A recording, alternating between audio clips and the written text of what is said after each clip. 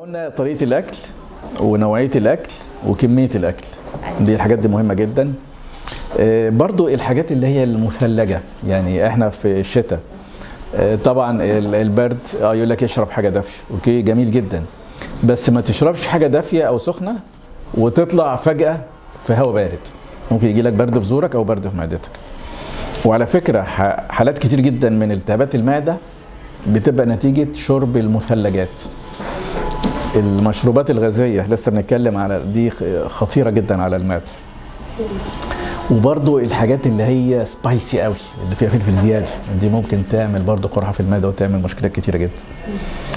اللحوم الحمراء لازم تتاخد باعتدال يعني مش بقول لك بقى لا ممنوع أكل اللحمه لا مهمه تاكليها. لكن لو اسرفت فيها المعده هتتعب.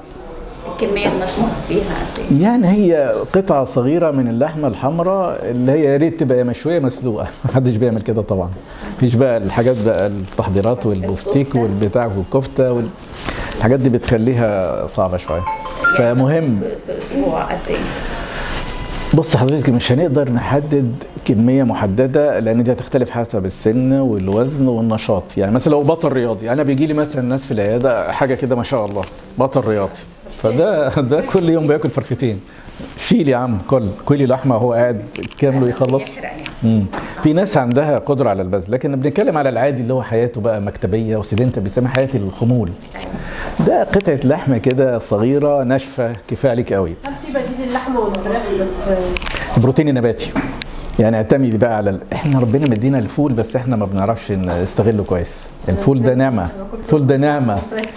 الفول والبسلة والفاصوليا والحاجات دي كلها بروتينات آه، آه، نباتية. البروتين النباتي أكتر حاجة صحية.